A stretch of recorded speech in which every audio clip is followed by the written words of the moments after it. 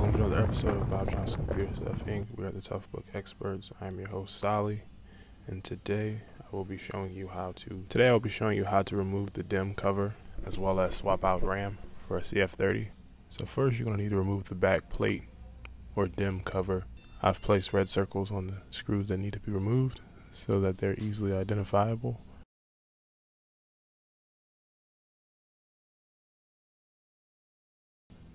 There's about five screws that need to be removed.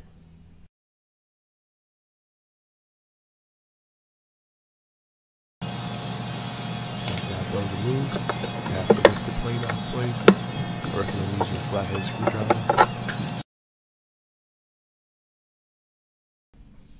Next, to remove the first memory card, you just push the pin, the clips apart, and that way you're able to remove it.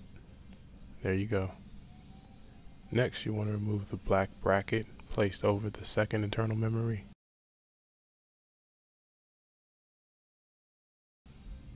There are two screws that hold it down in place. Remove those screws, and now you're able to remove the bracket. Also, there's a heating plate right beneath the bracket. I recommend using a flathead screwdriver to lift this. It's going to be a bit sticky you know, just work your way around across. And then there'll be the internal memory. And you push these clips apart too as well. And there you're able to remove the memory card. Now simply just replace it with the new memory card. There's nothing wrong with these memory cards. I'm going to put those back in. Where the RAM, replace your heating replace your heating sheet. Then replace the black bracket.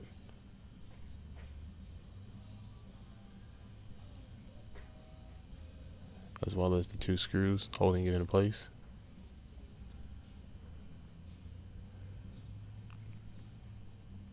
Make sure the screws are nice and tight. Then insert back into place the second memory card. Then simply replace your plate.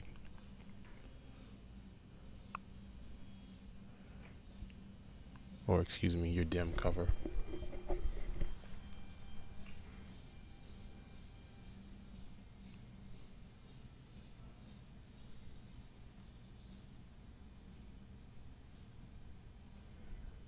Then once you've replaced all your screws, you have now swapped out your memory, replaced your RAM, and have removed your DIMM cover as well as replaced it.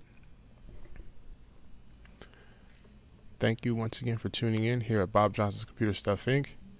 We are the Toughbook experts and leading refurbishers. If you have any questions, please feel free to comment. Thanks for watching today. For more repair videos, click the link below. And remember, if you have a screwdriver, you can fix a computer.